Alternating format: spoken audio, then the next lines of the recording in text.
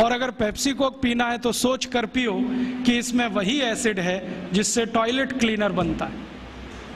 और उतना ही एसिड है जितना टॉयलेट क्लीनर में होता है। मैंने एक बार पेप्सी का पीएच कैलकुलेट किया था 2.4 है। और फिनाइल का पीएच भी 2.4 है।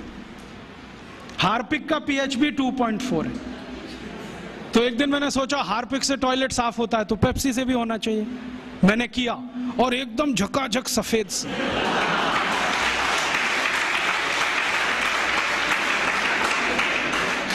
उस दिन से मैंने बोलना शुरू किया, ठंडा मतलब टॉयलेट क्लीनर और हम पीते हैं, अकेले नहीं, घर में आने वाले मेहमान को भी पिलाते हैं, एक तरफ़ कहते हैं, अतिथि देवता होता है।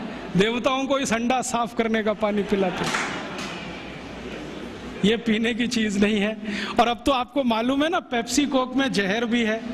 D D T benzene hexa chloride chlorpyrifos ये सब पेस्टिसाइड्स और जो वैज्ञानिक इस पर रिसर्च करते हैं ना, वो कहते हैं कि सात साल पेप्सी पियो तो अंतड़ियों में कैंसर हो जाएगा।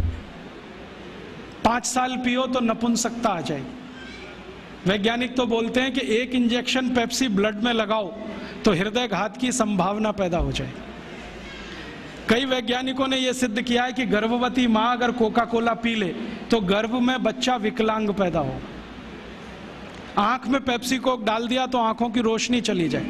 दांत डाल दिया तो दांत गायब अभी ये कोई पीने की चीज़ मत पियो।